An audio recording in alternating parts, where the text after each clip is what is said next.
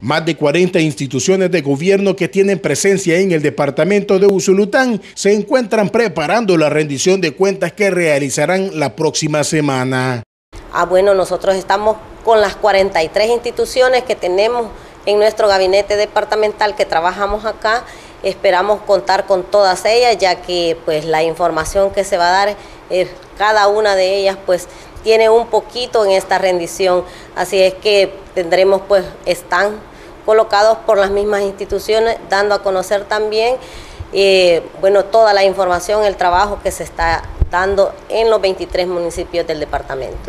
Estas instituciones forman parte del Gabinete de Gestión Departamental, mismas que destaquen el trabajo en materia territorial que han ejecutado durante el último año.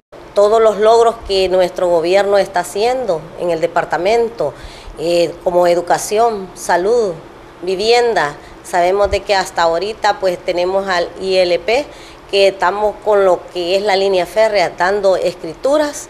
Es uno de los logros pues que nuestra población ha obtenido hace mucho tiempo. Ellos viven en esa línea férrea y no han podido tener su escritura.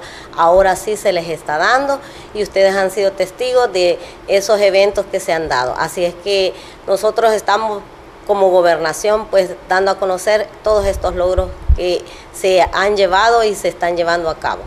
La rendición de cuentas se realizará el próximo jueves 17 de agosto en las instalaciones del Centro de Gobernación, lugar en el cual darán a conocer el trabajo y que la población podrá exigir los resultados de las labores de cada institución para despejar las dudas existentes, informó para Noticiero Sucesos Arnoldo Andrade.